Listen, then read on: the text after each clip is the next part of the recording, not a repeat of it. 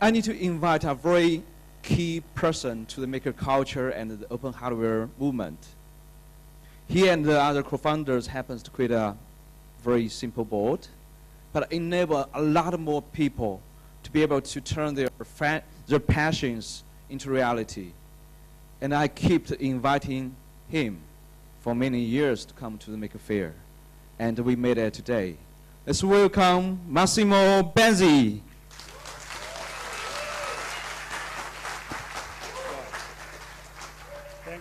Thank you. All right. So I'm really glad to be here. It's great to be here.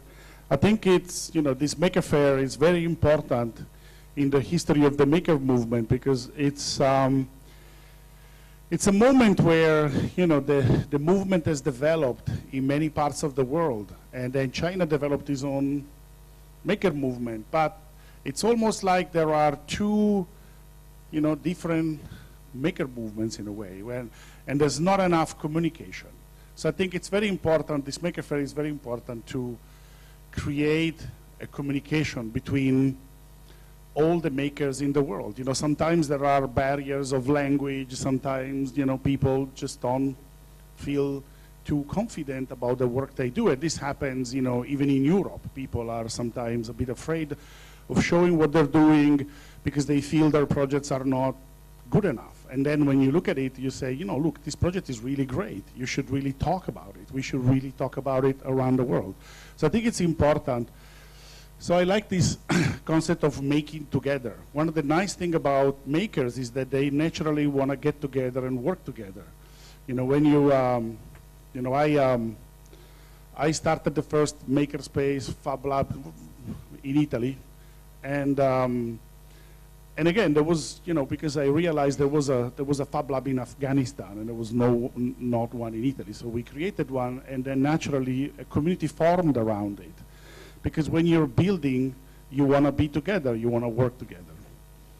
So I guess, as Eric mentioned, I started with a number of friends.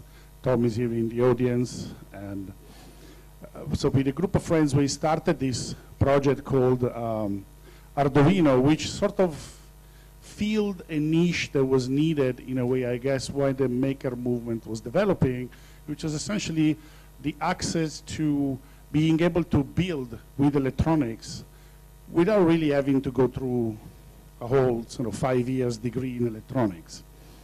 So, you know, this was, it's a picture of one of the first prototypes I built of Arduino. This was not called Arduino yet, it was called Programma 2004 because before Arduino we worked on a number of projects and the first one I worked on was called Programma 2003. So it was really crappy, but it was able to blink an LED. And so the idea that, you know, it was able to blink an LED, it was able to show that you could, you know, in a way master this small device, these microcontrollers that now are becoming incredibly powerful. You can find them in any shape and size with connectivity or not. So, but they are the core of a lot of the projects that we build. So the microcontroller enabled us to shift some of the complexity in electronics from analog electronics to software, which in a way it was easier for me to teach to my students and the same for a bunch of other teachers I talk to and work with you know, shifting some of the complexity over to software made that transition simpler. And suddenly this thing that was built for students started to be used by a bunch of people and it became the tool of choice for people building, in a way, prototypes. It was, it was essentially designed as a prototyping tool. And we are now a big community. Since we started 10 years ago, the community I designed it for was 100 people the students that were in the school. That was my first target. And then suddenly, you know, we had, we had um, this thing spread like a virus. When you create this kind of technology, they, if, if they're useful to people, they will just, you lose control of them. They just go all over the place. So now we have people all over the place building things with with Arduino, but you know, when you, when you talk about Arduino, you have to talk about the whole community. You know, people who are building hardware which is compatible with Arduino. You can run Arduino code on, a, on all sorts of platforms. And I wanted to show you some of the numbers of Arduino.cc, which is kind of the official community of, of Arduino. I showed this a few weeks ago, but in one year we had 60 million visits. 21 million visitors. And when you look at the statistics, it's interesting how there's actually not enough people from China coming to the website in a way. The, you know. So in a way, I guess that the fact that most of the website is in English is stopping a number of people from participating in the community. And we have to fix that. But still, 60 million people coming, 60 million visits, so 21 million people coming at least once, it's quite important. And also, I guess one of the key elements of the, the Arduino platform, it's the software development environment. So even if you're using a board which is, you know, you made yourself, you need software to make it run. So you come to the Arduino CC website, you download this. And so since March 10, so that's exactly 100 and something days, we had 2 million IDE downloads, one every 4.45 seconds. So this clearly goes beyond any of the boards that used to be called official. You know, there's like every source of hardware now sits on top of that. And so there is a large community. This is an event we created called Arduino Day, where communities around the world get together and they organize a free event, self-organized. We had 262 events, and uh, it was interesting. So this is a picture, is a poster made of the picture that we got from all those 262 events.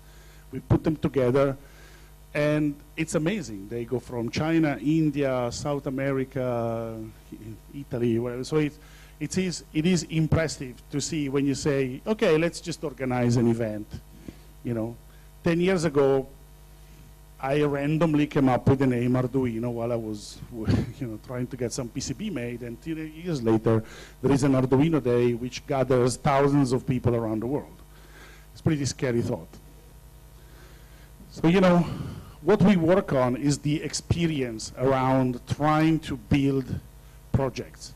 You know, like hardware like the one in Arduino was available before. Somebody make a joke about this was high school electronics. So, you know, I studied electronics in high school, so clearly it is high school electronics.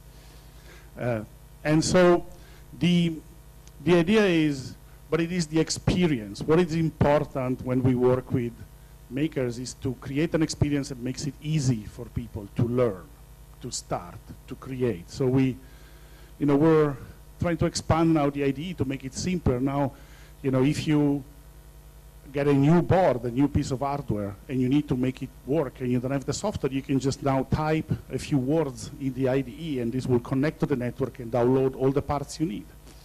So we're trying to make it if you need libraries, there are thousands of libraries that people have built. We wanted to make it easy for people to find them. It's becoming like an app store. You just got a sensor, you don't know how it works, you type the name of the sensor, you download the library, you're good to go. And we don't charge money like on the other app stores. So it's all community done.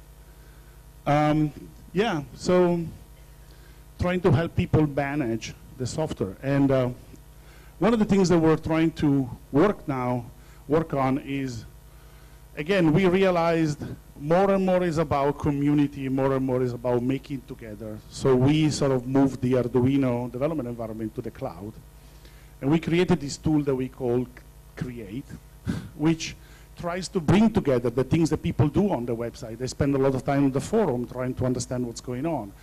They try, they look for parts. They try to look for tutorials they talk to each other, they send messages. So we bring everything together into an interface where we spend quite a lot of time working out the user interface.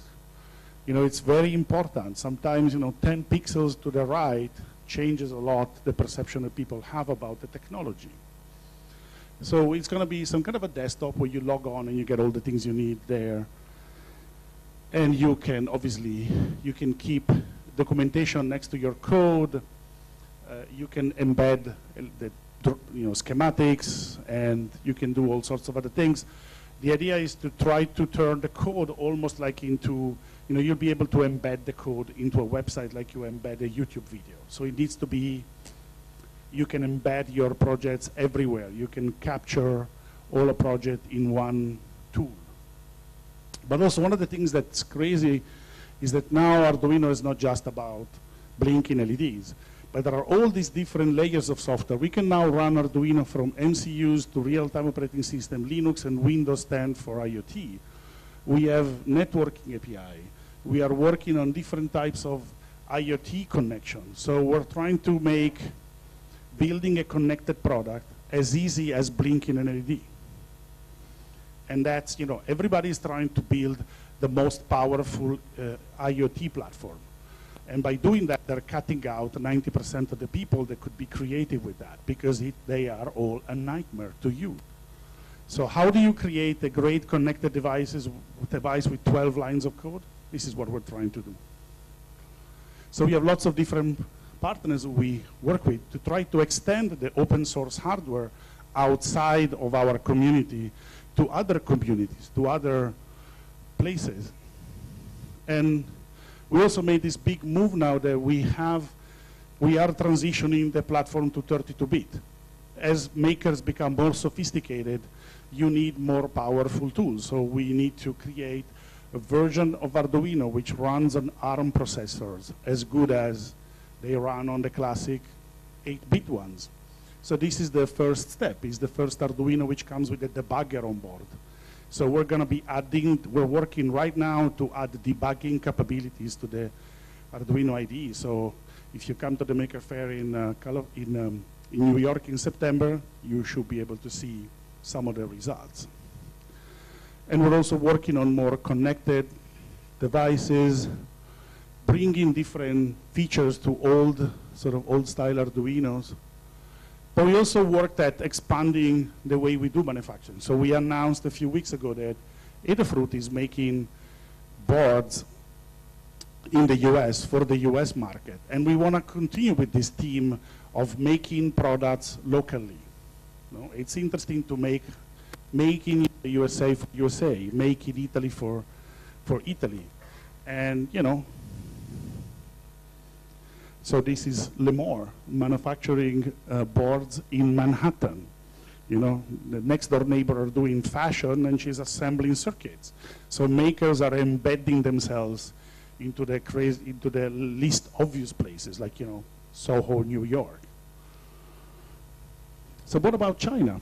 so we're in China. So I think you know, the Chinese makers are underrepresented in the worldwide maker community and we need to work on that. We need to make sure that the Chinese makers are more visible, the projects you do are more present, people talk about what you do. And see, this is, these are some of the events that happen during Arduino Day in China. So, you know, it means the communities know what's going on. They're working, they're getting together. There are books, you know, this is the person who translated my uh, book about Arduino into Chinese. So, you know, there are books in Chinese. There's a lot of knowledge out there. A lot of Chinese makers translated a lot of the things we write in English. They get translated by makers who just want to make it available in, in Chinese. So today we started a little step. We created the first Chinese forum on the Arduino.cc website. So starting from today, you can actually post questions and get help in Chinese on the Arduino.cc website is going to be an interesting challenge for us to manage that, but it is important that you are represented on the most important community. And uh, there's also this other thing that, you know, when you talk about Arduino over here, it's kind of confusing. You never know where the product comes from. This product, which is sort of a low-cost uh, Chinese-made product, says made in Italy on it. And it says official version, but it's what's official. but also the question is why write made in Italy on it? You know, why not just made in China for China? Why not being proud? You know, like Eric was saying, why not being proud of being Chinese makers? No, it's, we are moving past this phase. China is moving past. We have to explain to the outside of China that we're, it's no longer about making copies. It's about innovating with China, making in China for China. It's about, you know, bringing what you guys are doing out, showing. So, you know, we worked on this new brand that uh, it's, it's, uh, it's useful for us so that people can understand that the work that we do as the founders of Arduino has a specific brand that you can recognize in the sea of clones uh, so that you can understand it relates to us, that we work on it, that we have values that are attached. So we introduced this in California a few weeks ago. Genuino in Italian means genuine. And we think it's about the genuine values we have and what we believe in open source hardware. And, you know, and the, the first rule of the open source community, be awesome to each other. So we need to start to draw a line between who is awesome to each other and who is an asshole. You know, when you draw that line, you can understand which one is the community and which one is the people who are here just because they want to make money. It's a very simple line. So today, we are happy to announce that we are partnering with the most influential makers in China, Seeed Studio, to bring these products to the Chinese market, make it made in Shenzhen for China. So here you can see, and, and I have the first Genuino board made in Shenzhen, proudly made in China, and with signatures from me, Eric, and Tom on it. So it exists. It's not virtual. and uh, so here it is. I mean, it's a small step. It's a classic product. We've been making it forever. But I think it's important that we start to use that made in China as a different message, as a positive, strong message about the immense capabilities that Shenzhen has to create products, to invent. And also one thing that we dropped, if you notice, this is no longer an open source prototyping platform. It's gone. Arduino has stopped being just for prototypes ages ago. It's an open source electronics platform. You build products with it. People have built companies. People come to me and say, you know, I make a living by designing Arduino stuff, by making projects that are part of the community. So, you know, it's important. So we are launching it today.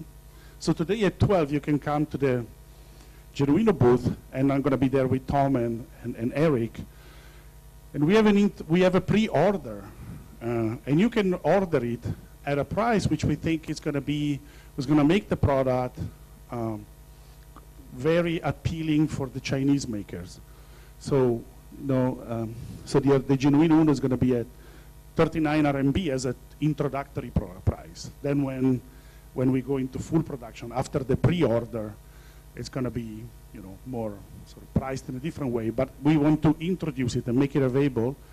So we have the Mega at 99 and Micro at 29. So we're going to try to make it priced correctly for the combination of cheap because it's made here, but also not ridiculously cheap because you have to support the people who are actually supporting, fixing, debugging, you know, working, strike a good balance between convenient and supportive of the community. So if you show up at 12, you can start pre-ordering this. And the first people that will pre-order this thing will also be part of a small meetup we are organizing tomorrow morning. So if you come over and you sign up, the first 50 people that sign up can come to this meetup we're going to have tomorrow in a cafe nearby so that we can get to know each other. And uh, yeah, that's been amazing. I'm very proud that we have partnered with, with Eric and Seeed Studio. They're an important representative of how you do making in China. You're proudly make made in China and contributing to the rest of the maker community. The, the last thing I want to say before I uh, stop is um, I'm one of the organizers of Maker Faire Rome. And we have another Maker Faire coming in October. If you want to come over and show off what you're doing, come over to Rome.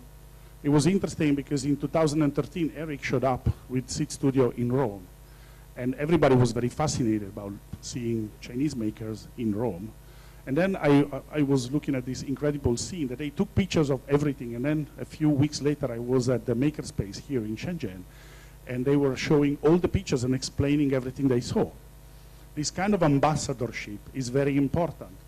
So we're looking for ambassadors that can bring this, the way of making we feel, this kind of passion for making that we have through China and the rest of the world.